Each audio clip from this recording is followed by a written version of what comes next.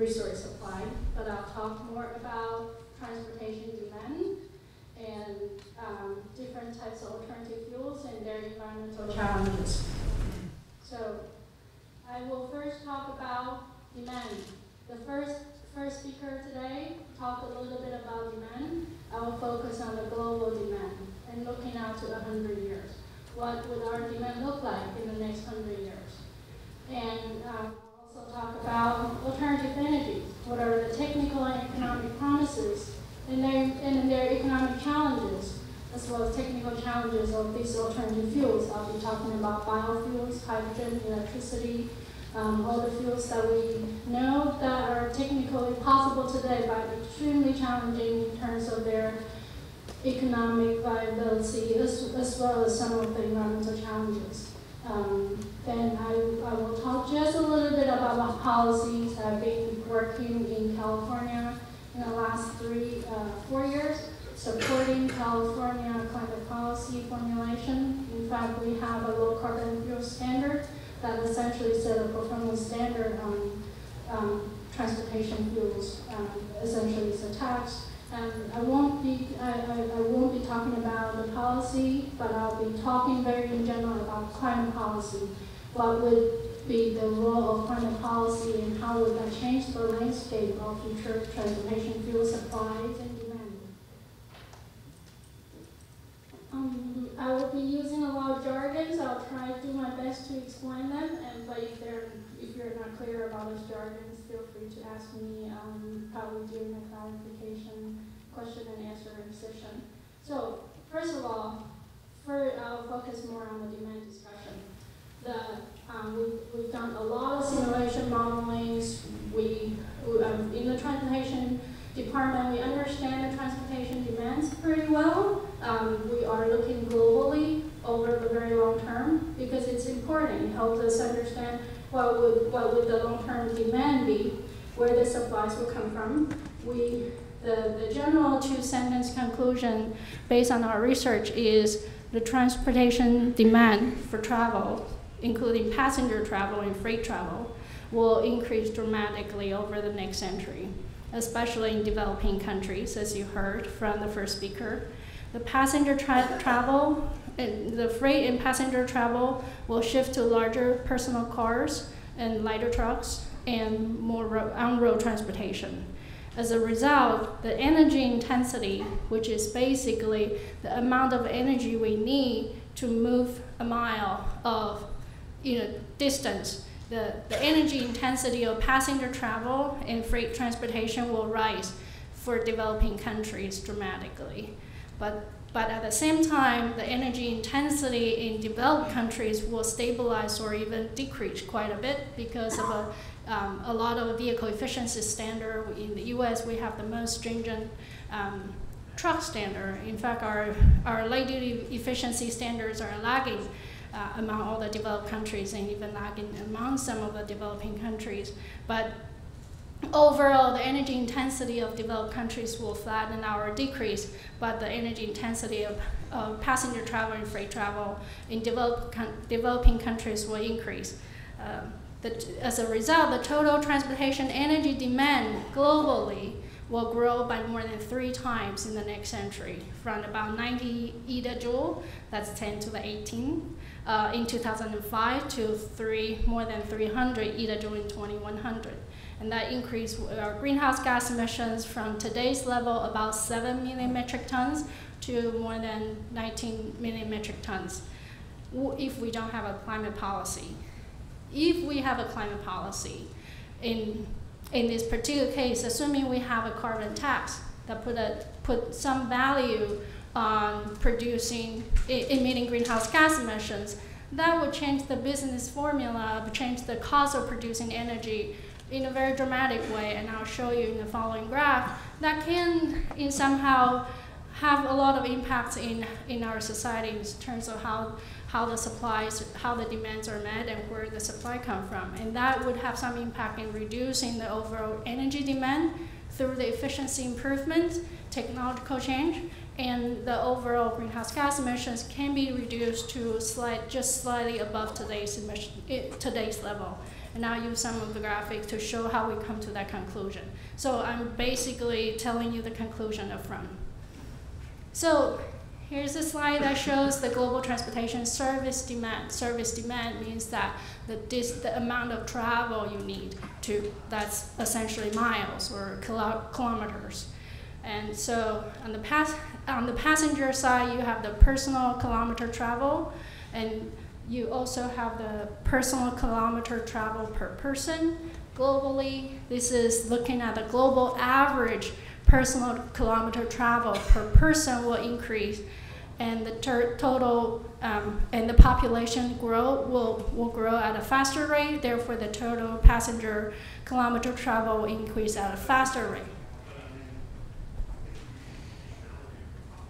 and then for the freight sector you also have the ton miles that's how we measure how much distance and how much weight uh, our society need in order to meet our demand, you know, clothing, um, basic ship, ship everything we need. And the, the ton mile of travel per GDP will decrease slightly due to technological change, lighter, bigger trucks that can move more things more efficiently, but the, the increased demand as a function of GDP will also grow, therefore the total ton mile travel will increase dramatically. So that's the big picture globally over the next 100 years. Here's a breakdown by mode of transportation, passenger transportation specifically. Uh, in general, we expect the passenger travel will shift to faster modes. In fact, we, everybody probably knows, probably half of people come here by airplane. Um, the, if you look at historical evolution, if, when we talk about modes, basically you have the vehicle travel, you have air travel, public transportation. Um, in, across all countries, especially in developed countries, the share of public transportation is decreasing over time. Share of tra vehicle travels increase over time. And most dramatically, what we observe is share of aviation will, will increase even at a faster rate. And, um, but that share will actually relatively stable except the share of aviation for um, shell aviation. Will, that, that relative share will, relate, will stay relative stable for developed countries. For developing countries, the we all know the story. Let's see if I have another slide. That's right. For developing countries, especially India and China, will their share for public transportation will significantly shrink compared to today's level. They will increase their increased use for vehicles and aviation will increase dramatically. All those are demand projections that will significantly increase the demand for vehicle technologies, airplane technologies, and fuel use demand. Um, here's a projection about the share, different sizes of car share for uh, personal vehicles. Again, the share for uh, developed countries, Japan, USA, European countries will stay relatively stable. US, uh, I didn't show you pre-2005, most people know our share for light, light trucks increased substantially over the last 50 years. Um, we expect the same thing will happen in India and China. Right now, there's a lot of two-wheelers and three-wheelers that are actually very energy efficient in moving people that use actually relatively little energy, those share will, will dramatically decrease over time.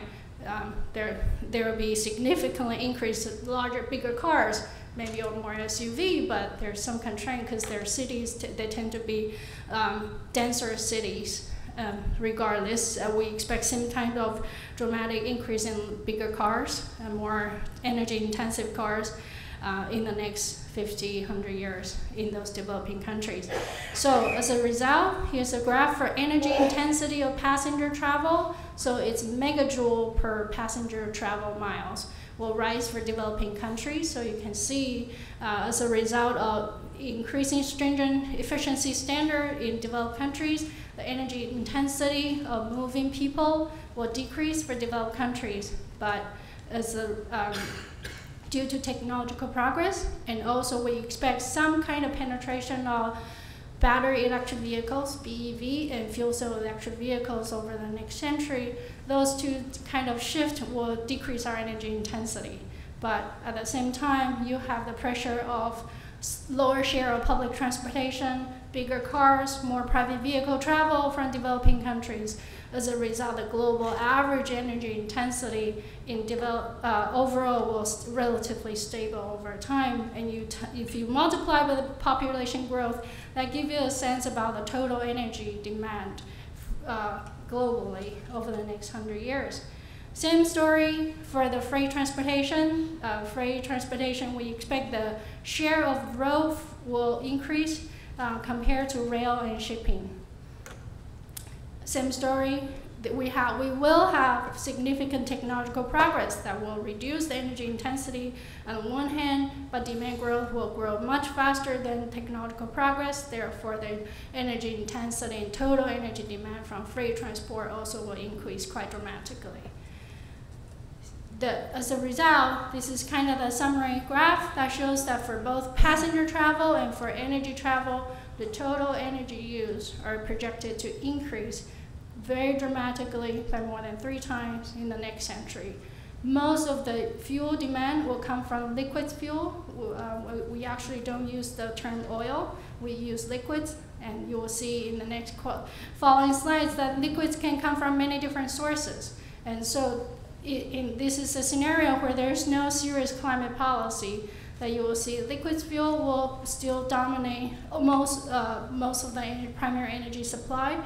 With, uh, we, we might see, we will, I think we will see some penetration of electricity in the hydrogen because there is some kind commitment from uh, European countries and developed countries to push for lighter cars, more efficient cars, and more environmental friendly cars. So the, the share of electricity car, electric cars is already increasing in developed countries. So we expect that trend to co continue out by very, very slowly over time. Um, so the, the, this is the slide of summary statistics.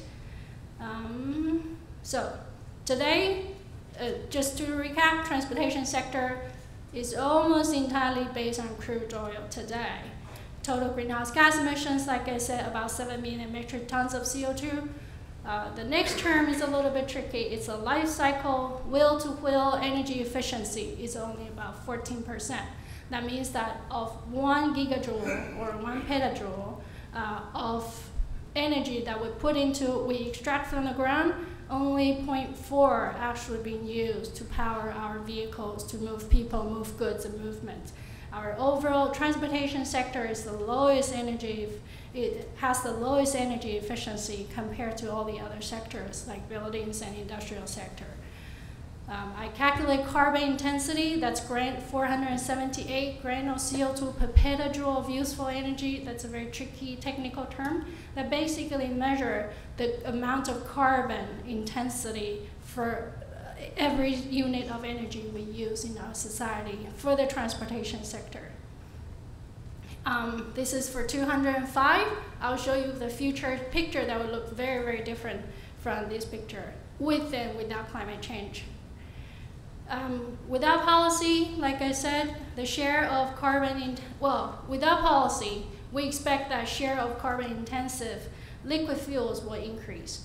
Uh, this is a graph from Adam Ramnai Stanford that shows that um, you know, globally, oil and gas industry actually trem spend tremendous capital to extract new, to extract and explore new resources, and that's about one trillion dollars per year of spending every year. We project that the if um, the pre based on my previous projection slides that I show the projection, the total projected cumulative transportation fuel use uh, between 2005 and 2100 is on the order of about 5,000 exajoule. And if you believe this graph, that shows that oil can come from many different sources, starting from convention. So the top graph shows the cost of production from lower cost uh, from conventional to enhanced oil recovery, tar sand from Canada, um, gas to liquid, coal to liquid, and all the way to oil shale. Um, this is the this is a picture for for uh, cost of production, and the bottom shows the total greenhouse gas emissions. And I would say that actually, right now, as of today, we are using almost all of the resources. So it, uh, it's not true that we would always start from the lowest cost. It depends on a lot of constraints, geological constraints, and business models. So in fact, we are already using conventional oil, enhanced oil recovery, especially in California, oil sands from Canada. Oil companies are investing a lot of money in gas to liquid today. The only, um, we are, the latest EIA projection, uh, IEA projection project that with the development of shale gas, we'll see more shale oil. Um, so we might see more of these. So I, I, think the cost will come down dramatically. The only the only thing that we haven't explored quite in a very big scale is coal to liquid. It's not we don't know how to do it. It's not. It's still it's more expensive, but it's mostly environmental constraint. Coal to liquid uses a lot of water. Water constraint is a big issue for coal to liquid. Otherwise, it's actually economically possible to use coal to liquid if needed. So if you believe this graph, on the y-axis, it's, it's actually about 18,000 exajoule, uh, 18,000 gigabillion barrel is about 110,000 exajoules. So you can compare that our projected total demand is this number. And this graph shows that we still have this much that can be extracted. Again, I'm not a resource economist. This is from a graph from the colleagues. I'm just trying to point out um, what we think the potential source can come from with different cost levels. So why do we talk about alternative energy?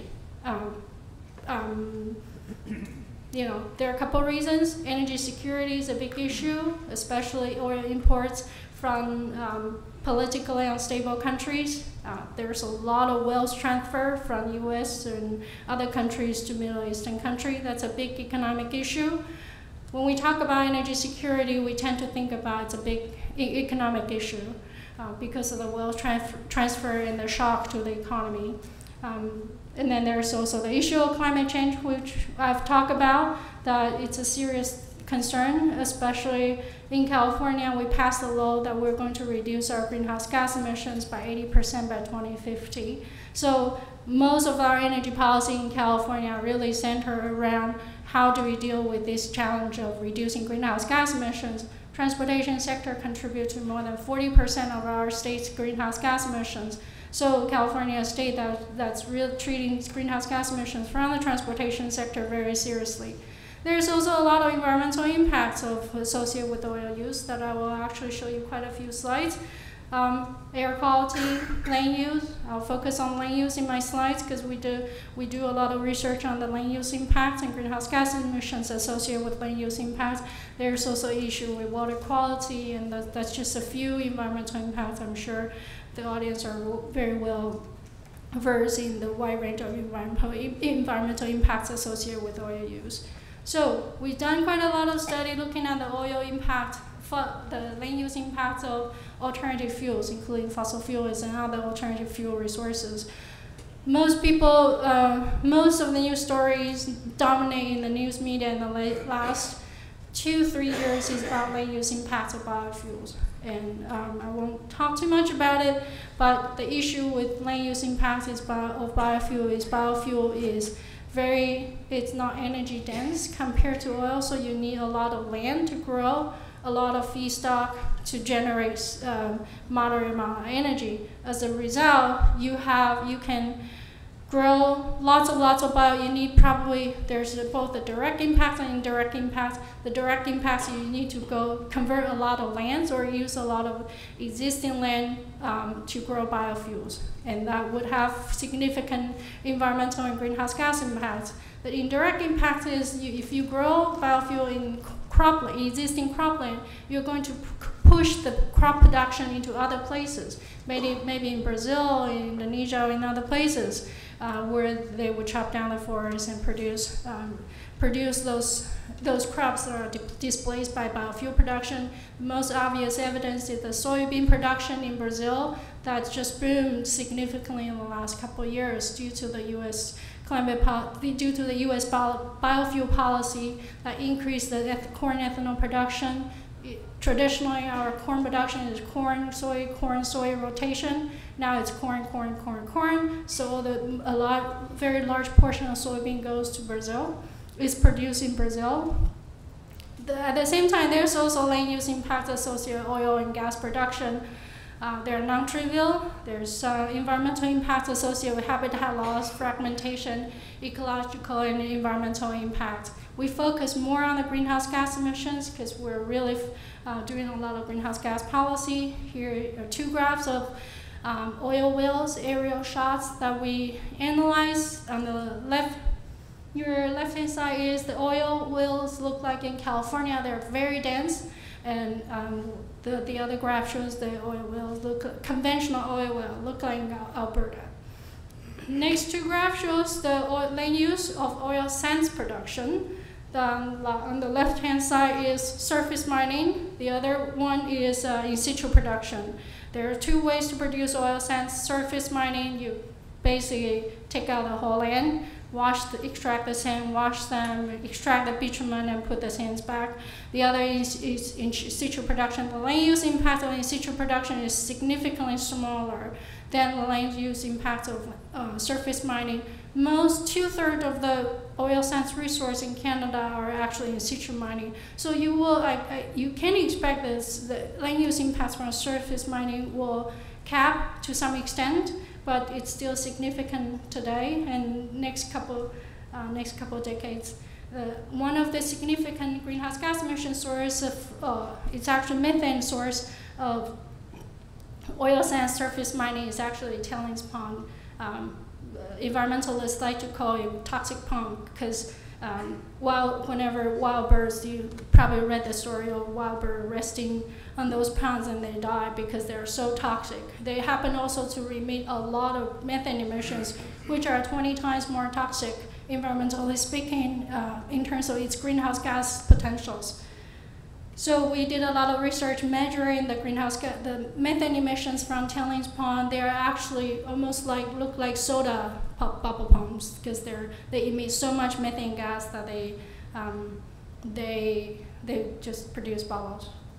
And um, so another issue of oil sands extraction that we did research on is the peatlands. Peatlands actually, uh, people, uh, one thing about bio, biofuel, uh, especially palm oil, is the, the destruction of peatlands in Indonesia and Malaysia. Peatlands are important because they store a huge amount of carbon over hundreds thousands, millions of years. And once you extract them, they're not coming back. You cannot reclaim them, you cannot restore them. So peatland is a very, very important carbon resource, uh, storage resource, and as well as environmentally speaking, that they regulate, they have a lot of functions in terms of protecting the environment. Um, most people, uh, studies focus on peatlands in Indonesia, Malaysia, but boreal peatlands actually store 85% of total global peat. So boreal peatlands actually, uh, carbon speaking, uh, has a lot more carbon than peatlands in Malaysia and Indonesia. Nobody actually have looked at the, the destruction of peatlands in, as a result of oil sands extraction. And so if you look at these two graphs that on the left basically show the oil sands resource in Alberta and the right, land, right hand side graph shows the peatlands overlay. So you can see that the, they basically, there's a very important overlap be, between the peatland, uh, boreal peatlands and the oil sands resources. So uh, they're mostly, it, once this area is explored, the peatlands will be gone. The peatland, uh, this is just a photograph of peatland, uh, peel, the kind of a picture of peatlands and how once peatland is, is destroyed, how carbon will be emitted and the peat, basically the whole peatlands will, be, will die. So more about, I'll show, um, that, that's kind of the picture, the discussion about environmental impact. I'll talk more about alternative energies, uh, in the next couple slides. And um, this is the what we call reference energy system. Basically, this is a picture of energy system today. We have from the primary energy source, we have basically oil resources from different sources, like I said, conventional and unconventional oil sands. And we also have a little bit of biofuel, so corn, soybean, waste oil, palm, palm oil. They go into conversion technologies, refineries that can refine oils or biofuels, and the transportation sector is very, very much, very much homogeneously liquid oil um, that power all modes of transportation, from personal travel to vehicles to, to trucks and to, to, our, to airplanes. In the future, the transportation sector can could look very different, as it can not well, because there are, uh, there, uh, the, most of the alternative resources are much more expensive. So from primary energy perspective, we can produce energy from almost all kind of resources that you can think of um, you know, bio, more biofuels, shale gas, shale oil, gas, nuclear, um, solar, geothermal, any kind of primary resource can be used, can be converted one way or the other to basically three different types of what we call the secondary or final energy. Gasoline, diesel, um, biofuels, electricity, and hydrogen. And then you need the you need the comparable vehicle technology, transportation technologies to go with these different fuels. So fuels and technologies are they go together, and that's what typically people talk about the chicken and egg problem. That you need to have both at the same time, and that's the significant that's a major challenge for all these alternative fuels. Um, we did have a lot of alternative fuel policies in the U.S. in the last 30 years, for those of you who remember, we, uh, we like to call it called fuel digital phenomenon. 30 years ago, it was synfuel. We thought the Department of Energy wanted us to believe that in 30 years, the, the world will run on coal to liquid synfuel. Then it was methanol, electricity. Tw 20 years ago, 20, 1980s, lots of little cute electric cars. They died. Uh, this famous story who killed the electric car. But anyway, then hydrogen, corn ethanol, then today's electricity. So if we don't have a durable policy, we're just likely to recycle them all over again. So um, we are working really hard on policy solutions on how do we provide a more sustainable environment to make those uh, alternative fuels viable.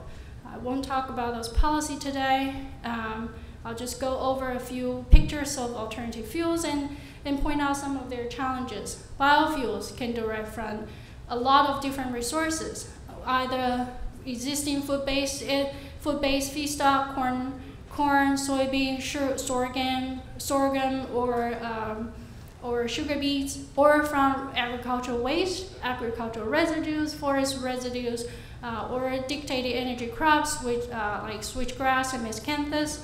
Um, Department of Energy spend a lot of resources looking at those potential resources, and they tend to be geographically located in different locations. So these maps basically show the our estimate of resource potentials from these different resource these different biofuel feedstock resources.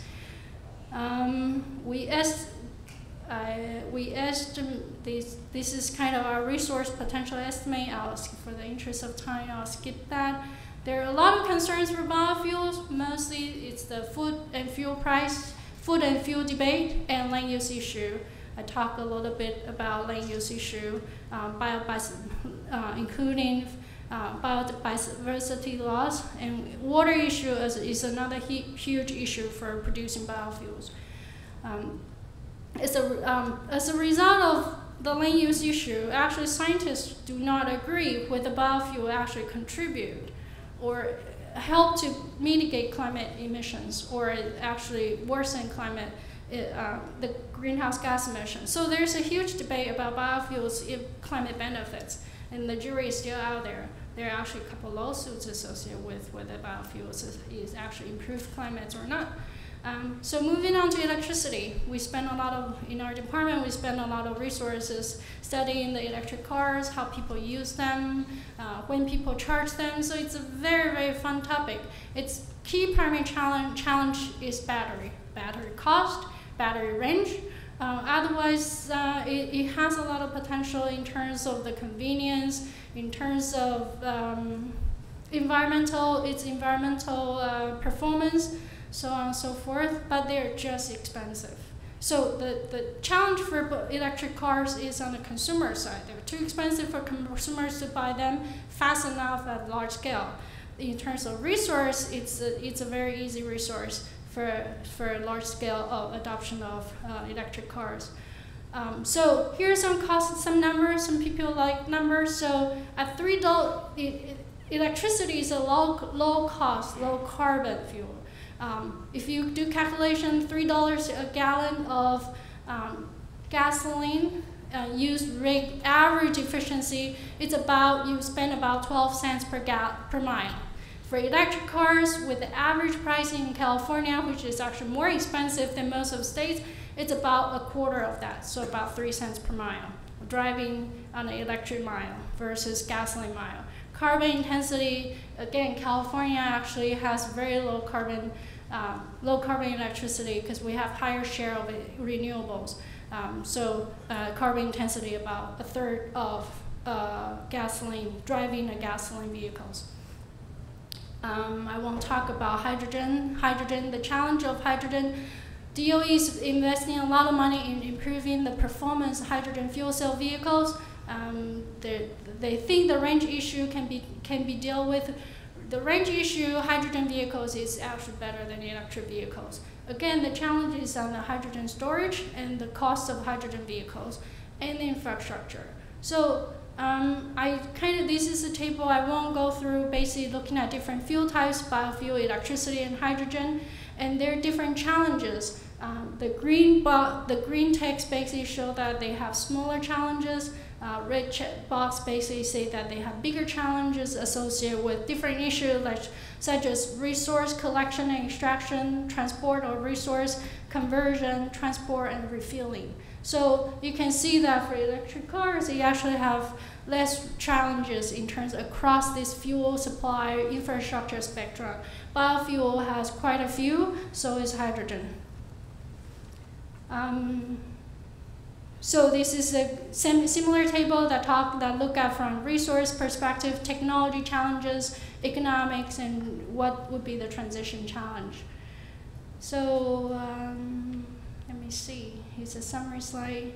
Sustainability, we are actually spending a lot of effort trying to understand what are what can we do to improve the sustainability performance of these alternative fuels, given that there are quite a different challenges that I point, uh, briefly point out. So we are developing some sustainability standards um, in California, especially and in European countries that also trying to adopt a, a lot of biofuels. So it's another field of research we're working on. Um, so a few modeling results looking up to 2050 and 2000. These are the simulation results that we look at, looking at what would be the impact of climate policy on transportation demand and fuel supply. This graph shows the, shows the picture for California.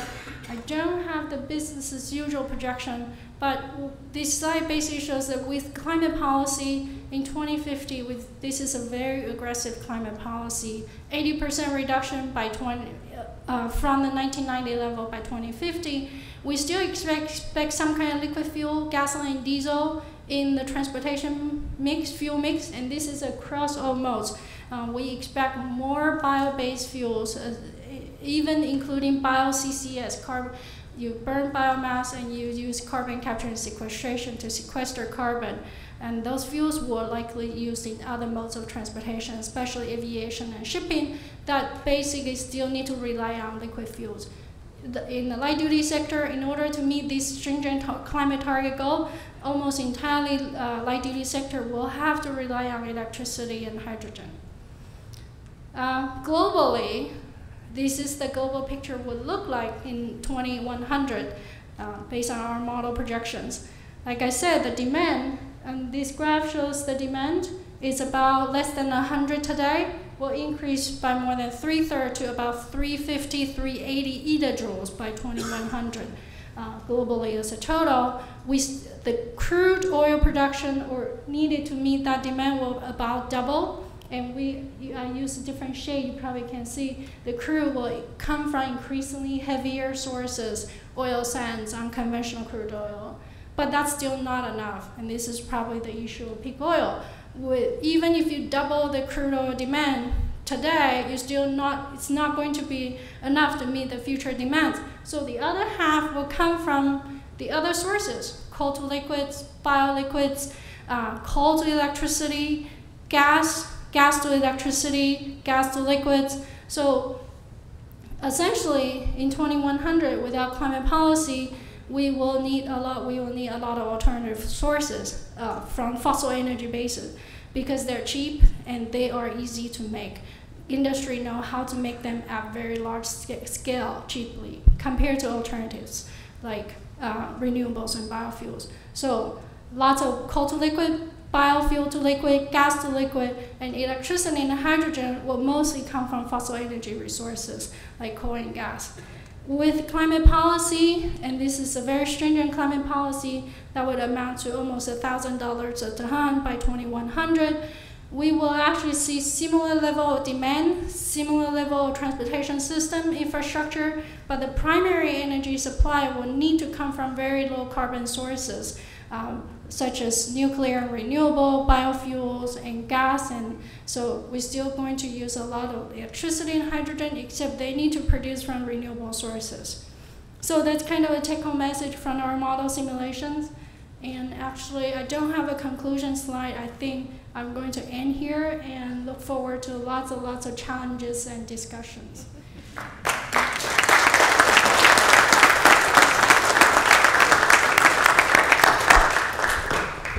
Thank you very much, uh, Sonia. We are just going to have, uh, we have about a half an hour or more of, of questions, and I know there's going to be a, a lot in, from the audience, but uh, I am actually going to moderate this. I get to do the, uh, the armchair thing.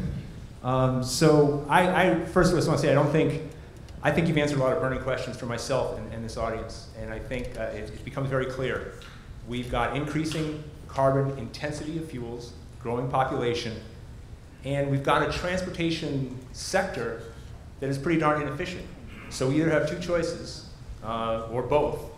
Decrease the carbon intensity, or radically increase the efficiency. Um, how would you, I mean, the, low carbon fuel standard is about one, um, from the ITS standpoint, you know, at UC Davis, you know, are you, you're working on both, but where do you think the, where's the biggest bang for the buck or where's the biggest potential? And, uh, you know, what, sh what should maybe we be thinking about more of and not sort of focus on how much carbon we can squeeze out of a gallon of liquid fuel?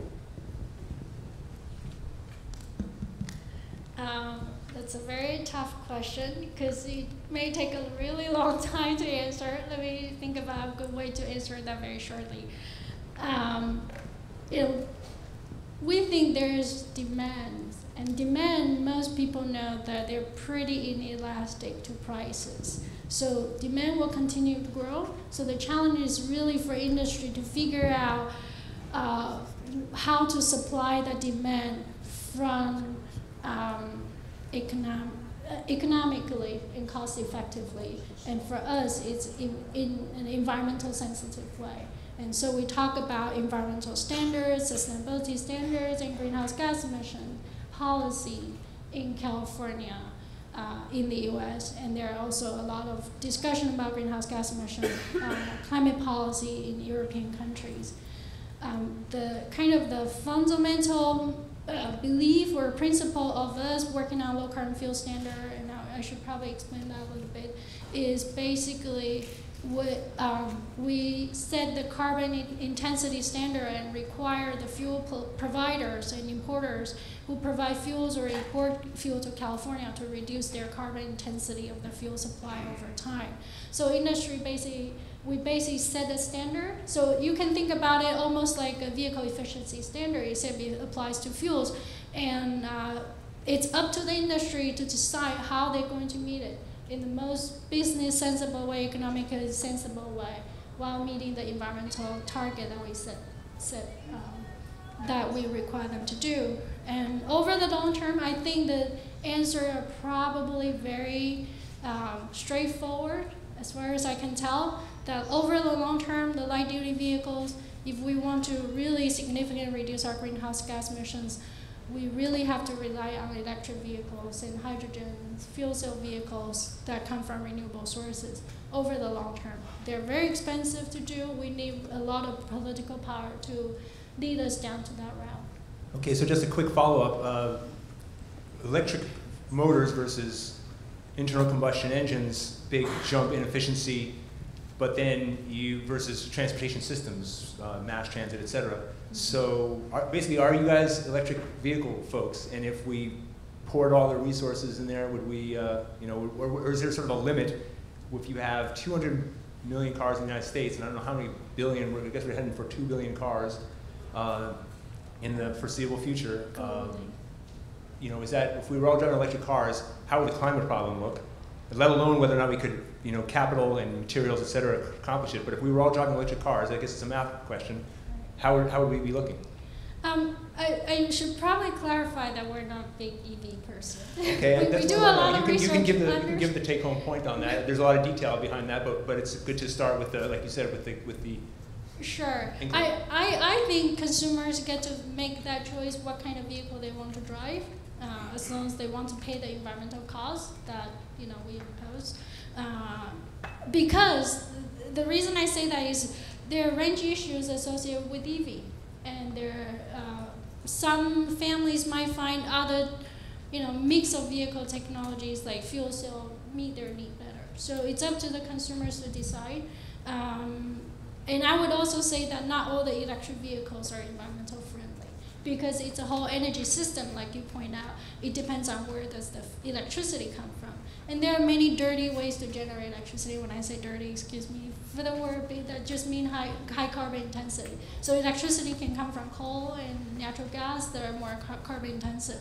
So it, you need to work on the system. You need to have a comprehensive climate policy if that's the goal. Um, so you don't squeeze the problem from one sector to the other. okay. So I have only one question reserved, but I'm not only in case the mic doesn't work. So uh, please, let's go to the audience. And let's get some diversity in our, in our questioners. Yeah, uh, I must say that uh, I'm glad that you said it was a scenario because I learned that scenario. Uh, you can have scenarios that never can happen. I mean, uh, it's, uh, it's uh, and the thing that you were presenting in, I'm saying, I'm, I've never seen such garbage before. And, and, and I mean, the, the kind of numbers you're presenting for 2,100 in business as usual, but I, I mean, it's absolutely not possible to reach. I mean, take for instance, if you are going to making 4 million barrels of oil per day from coal to coal to liquids, you know, you take 60% more coal than the United States is using today for just that small fraction. Or 60% of all the coal that China is using for just doing these 4 million barrels. So, I mean, what you had there, okay, you can play with the computer, but that's not Thank you. Shell. Thank you, Shell. Um, over here, please. Go ahead and stand up. Yeah, there was a recent McKinsey study about battery prices coming down a little bit further. Do you agree with that? And do you agree with maybe five to eight percent compound decline rate? Is that your estimate? And also, do you have any rule of thumb as far as the precious metal use in hydrogen fuel cell stacks, which are one of the most important factors in getting fuel cell vehicles price competitive? Right. So your first question, you referred to McKinsey study that looked at the cost of electric vehicles or electric batteries. So um, there there are lots of numbers out there, and there's there's one of them that's possible, and we think they are reasonable, but it's hard to predict. So our estimate, we take into account all ranges of possibilities, and um, nobody really know, but we, we think their numbers are reasonable. Um, the second question about precious metal, we look at the issue. Uh, we have, we think we have a good handle on uh, what kind of metals that that uh, how much will will need to if the entire fleet is converted to fuel cell vehicles by a certain period of time, and the recyc- possible recycling rate. That's and we we don't think that's a problem. That's one angle of looking at it. The other thing is you got. Um, I'm, I'm actually prior i'm actually also a technology historian so i look at a lot of cases case studies of technological change history of technological technological change. So i'm a big believer of you know technological change and i, I, I i'm not so certain that by 2050 or you know in many years we, we will still rely on that you know precious metal. So i think there's a possibility of diversifying to different options Um, okay. Um, um, I, so first of all, this symbol EJ is exajoule. Um, you know, that's the correct pronunciation. Um, second of all, the world right now produces 162 exajoules in crude oil and uh, condensate, and about 180 odd exajoules when you add natural gas plant liquids and everything else, including biofuels and whatever Fischer-Tropsch you have. And this means, for one thing, that the world will never produce the 300 exajoules that you are predicting uh, in the future. So that's uh, uh, just, I will refer to my distinguished colleague uh, to the description of that study. Um, now, if you mean that we can use biomass and then you quoting uh, using about 50 exajoules in biomass, uh, you need to understand that the entire world agriculture probably, and I have the numbers, uh, I just don't have my computer with me, but if you add the, all the crops on this planet, plus the roots and the stems, it will be about 60 exajoules. Okay? So you are proposing to burn everything that we have uh, as fuels. Of course, that perhaps will not happen. Um, now, when it comes to hydrogen and uh, fuel cells vehicles, uh, I have a friend in, in Munich uh, who drives a, a hybrid BMW. The cost of that car is 1 million euros. And that perhaps is not a viable uh, solution for India. Um, so, you know, so, so I guess, you know, I'm trying to be positive here. What I see is a tremendous disconnect between reality and such studies. And you're not the only one, that's not the only one. Yes. just, let me just try and, Rich, what, I think what's important here, we, we understand, I think you, let's just, let's just deal with this, Yes. okay? There's, if there's, uh, if the energy, total energy consumption within the transportation sector or the economy overall is something different, we can talk about that. I mean, that's what, that's what the peak oil community can bring to the conversation, is the limit on the energy. I think what's very important, though, to the conversation between our respective communities Yes. is understanding the relative mix. I think your work on, and we should, we should either learn from the models and find out what the assumptions and inputs are, et cetera, but the relative energy intensity, you know, the energy mix is really what we were trying to get at today. It's not just the absolute energy consumption, but this shift in carbon intensity, this inefficiency in the transportation sector. I think we can all agree on that. So let's, let's focus on that, that's what we're trying to do. Right. So go ahead, Sonia, Yes, yes. uh, please reply. So um, I definitely take the criticis- criticism and uh, we can discuss assumptions of what we assume about resource availability. So I'll be more, more than happy to talk to you afterwards. Um, I spent a lot of time studying biofuels and um, you know the latest IPCC report that's going to come out in 2012 actually estimate the potential biomass, bio, biomass and bioenergy resource can add up to about 50, uh, anywhere from 50 etajoule to 300 etajoules, and exajoule, exajoules. And um, the, the lower range is if you apply a lot of sustainability criteria that limit where they can be grown and how they can be grown. So there's lots of different numbers out there. I respect your numbers and, and views, and we can definitely talk about those assumptions. But I, you know, I also agree with you that the, the issue that we want to talk about is this urgency in increasing demand and urgency of we're shifting to higher carbon resources because they're cheap and they're easy to do at a large scale and the decreasing another thing is the decreasing energy efficiency of utilizing those higher carbon resources Okay, I'd like to, could we get a microphone to Professor Zigarides, um, who's a, who's gonna have something very useful to say about this. Uh, uh, Kyriakos, I am going to go to one question while we're, while, while we're ready. Kyriakos, we'll wait for one question and come back to you, okay? Go ahead. Uh, yeah, first, first, thanks for, for the modeling on the impact of policy. I think that was very important, and, and I'd like to see more, uh, hopefully, we'll see more of that. Uh, I guess my question is uh, how do we really know, or are we really confident that uh, the response of, uh, that we have an inelastic response to, to price?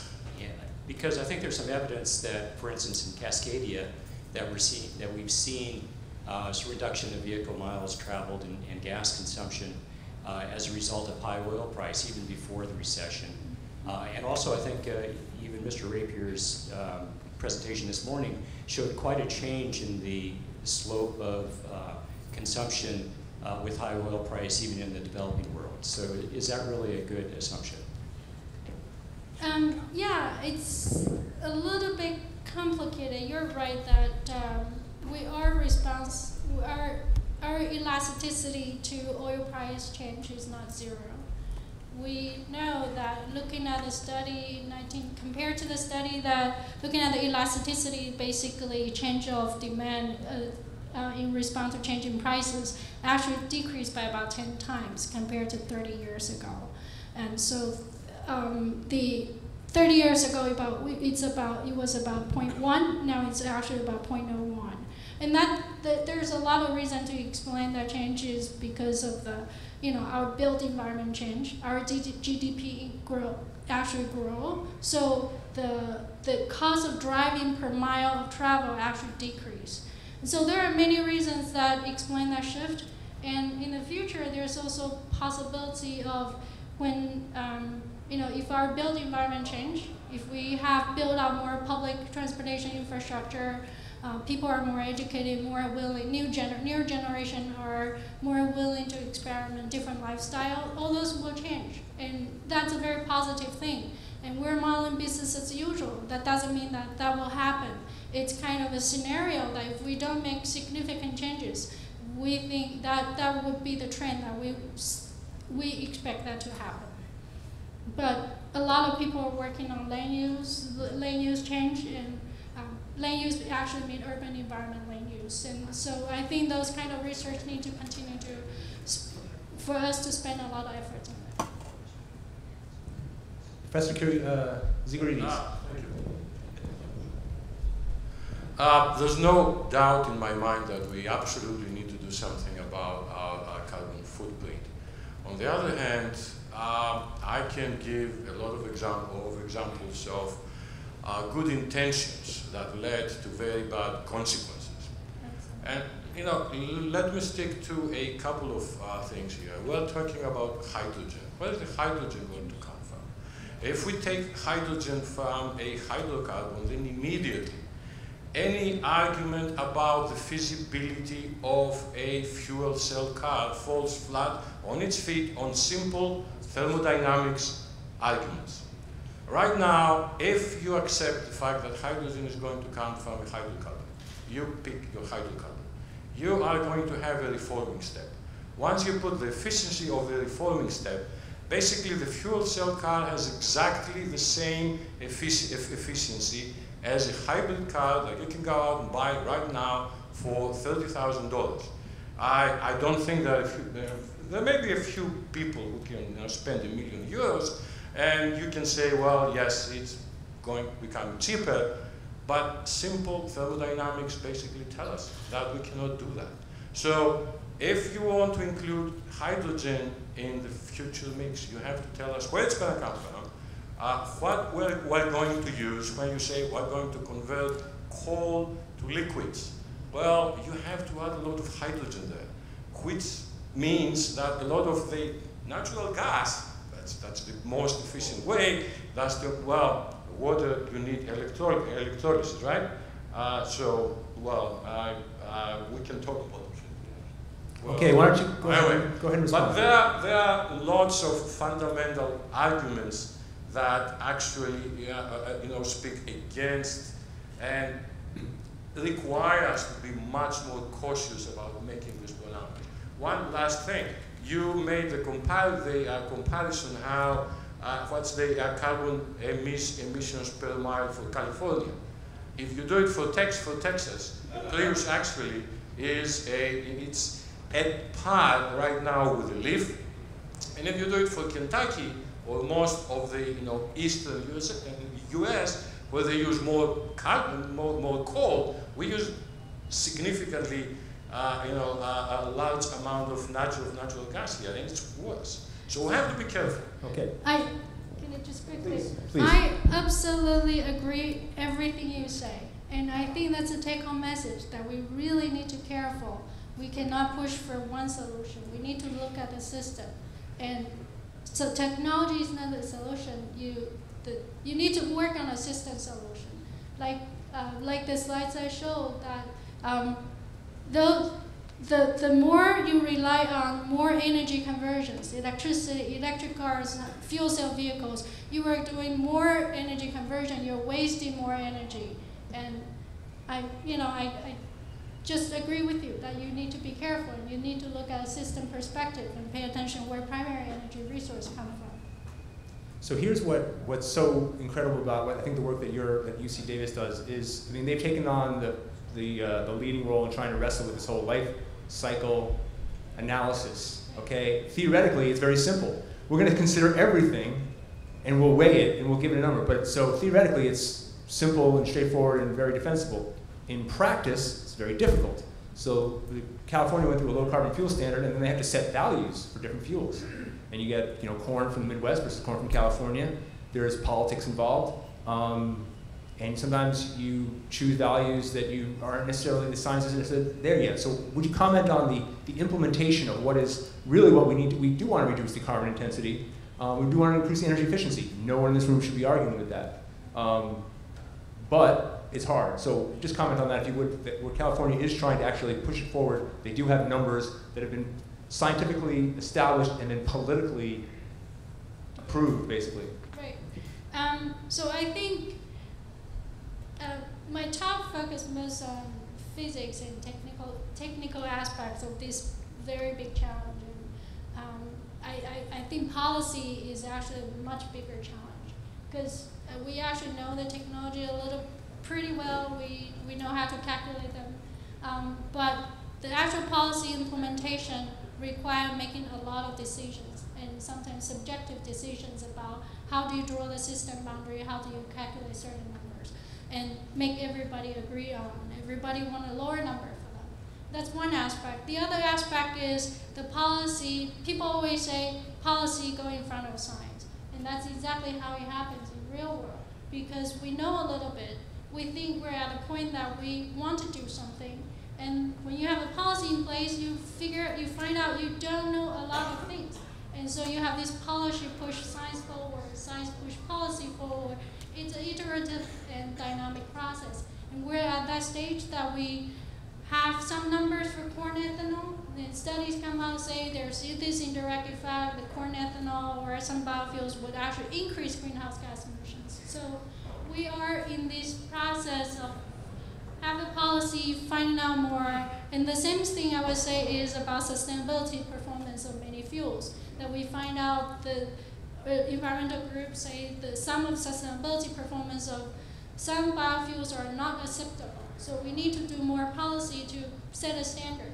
So um, I pretty much think this is a challenge of doing this science policy, science policy iteration, but that's also a very positive thing, I think, to move our society forward.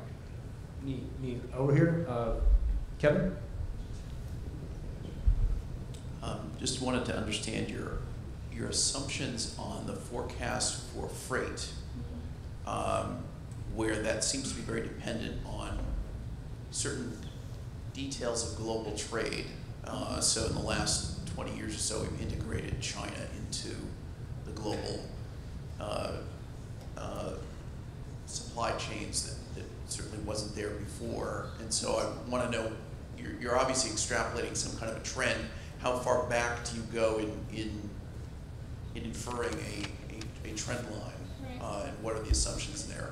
And then the related question is, on the freight um, numbers, what is the approximate breakdown between say, air freight versus shipping versus rail versus trucks. Right. So like if it's mostly trucks, then it's not very dependent on global uh, trade patterns. If on the other hand, it's mostly shipping, then it would be. Right, right. Um, you're probably a PhD student.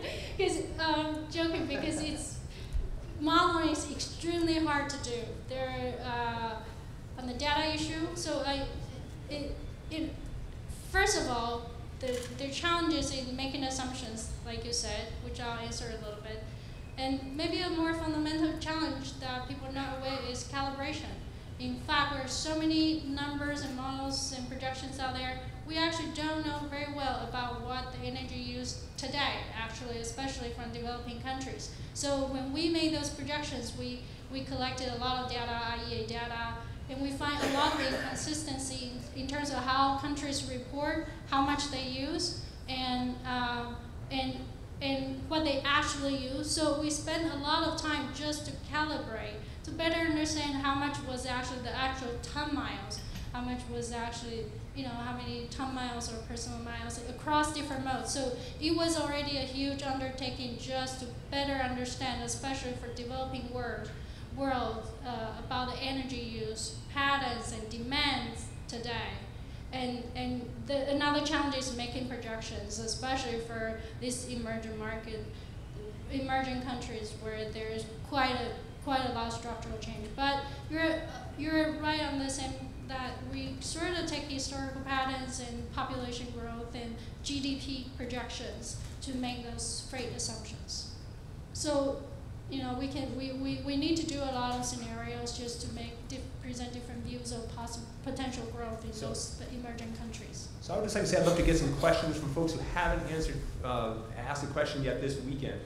Um, Alan, though, how, so let's make that the- afterwards. So Alan, however, is our transportation uh, person, so why don't you go ahead? There are two trends that you project that I think I see facts on the ground that contradict the trends. One is that uh, trucks are going to take an increasing share of the developing world's uh, freight. And I will point out that China is building 20,000 kilometers of new rail tracks this decade. Brazil is building 10,000 kilometers. India is putting in 2,700 kilometers of an all-new, their first all-freight line. All the other rail lines in India are, are passenger and freight. This will be freight only. And on the declining share of mass transit, China is putting in metros, that is subways, in 44 different cities around China.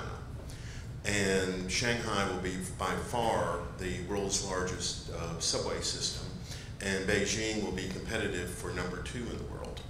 And with this massive building, China is not the entire developing world, but it's certainly a large chunk of it. And there are other developing nations that are making additional investments in mass transit, although none come close to China. So I see facts on the ground that appear to contradict the trends that you see. Well, let's, let's hope that those trends continue. I mean, I think that's all, all the positive. We'd like to be wrong in that direction. We're worried about being wrong in the other direction. So, um, you know, we're, we look at the numbers and we're aware of some of the facts that you mentioned. Um, and the question is, we there's so when we when I talk about shares, there are two things. One is the relatively gro- rel, absolute growth and relative growth.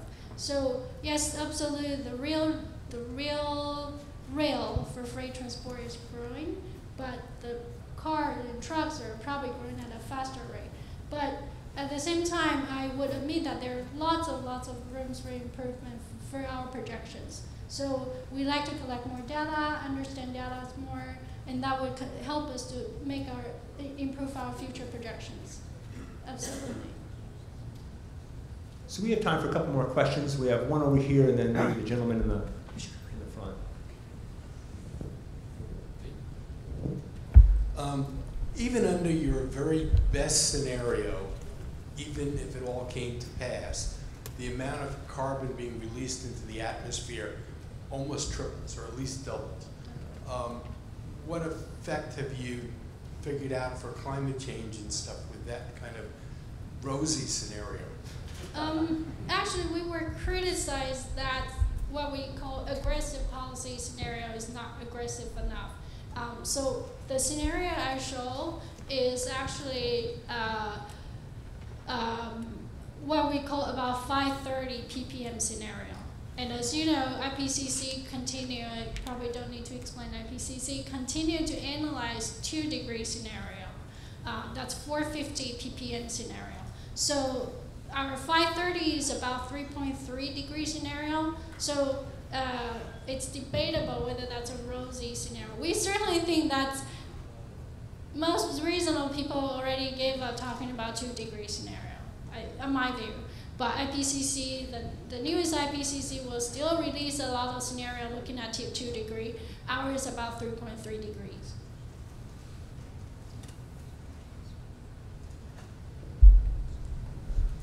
Um, first of all, I'm in awe at the amount of homework you've done for this presentation.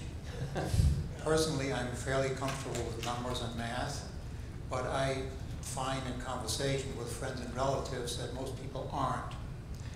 And uh, so eh, part of my, my reaction to what I'm hearing all weekend, and especially in this uh, interaction, is that there seems to be a tendency to study things that we can measure and express in numbers. And I kind of wonder about the wisdom of that because ultimately what we're trying to do is get along and be happy. And I'm not sure, uh, my overall impression of, of what I'm hearing at this meeting is that at some level we all agree with Rex Tillerson, the CEO of Exxon, who says it's an engineering problem. And uh, as an alternative to your work, what doesn't seem to get asked is why are we so convinced that business as usual is the baseline? And you know there are studies that show that in spite of an incredible growth in GDP in the last 50 years, uh, people aren't any happier. So it seems to me one of the ways to reduce energy use and the uh, consequence of, of carbon uh, in the atmosphere would be, wouldn't it, couldn't we be looking at moving less stuff around and less people? And is anybody in your department looking at that? We, we certainly look at demand reduction. So, you know, making scenarios is an art, not necessarily science, really. So there are lots of lots of rooms to uh, tweak or, or, you know, develop different trajectories of belief. And IPCC have scenarios that look like, you know, really wide range based on so many different assumptions. So I'm definitely not here to defend my scenario. And I would say our BAU actually assumed pretty aggressive technology improvements over time. Um, and I, like the previous comment, we really hope there's fundamental change in people's behaviors and all those positive things that will help us reduce our greenhouse gas emissions and environmental impacts. But if we don't make changes, significant fundamental, significantly fundamental changes, we have a problem, right? You know, if we extrapolate from historical lesson uh, trends and make that uh, and project, continue to project future. But I do hope that we make some changes. So in the interest of, uh, in the interest of time, uh, I'm hoping that, that uh, Sonia, who uh, made heroic efforts to be here today, she took the red eye from, from California. Uh, she had a canceled flight. So she did amazingly well on, on uh, views.